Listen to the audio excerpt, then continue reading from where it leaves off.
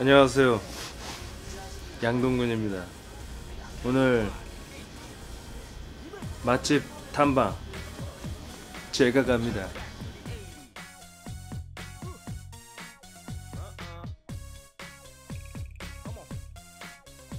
드라마는 막바지지만 예, 저는 이제 새해 2019년을 시작하면서 우리 선혜윤 PD님 그리고 우리 보금함 때 만났던 많은 스태프분들 얼굴 보면서 시작하니까 아주 시작이 좋은 것 같습니다.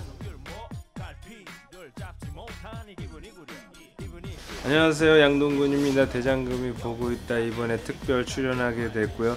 제가 먹으러 갈 음식 과연 어디일까요? 궁금하지요. 대장금이 보고 있다.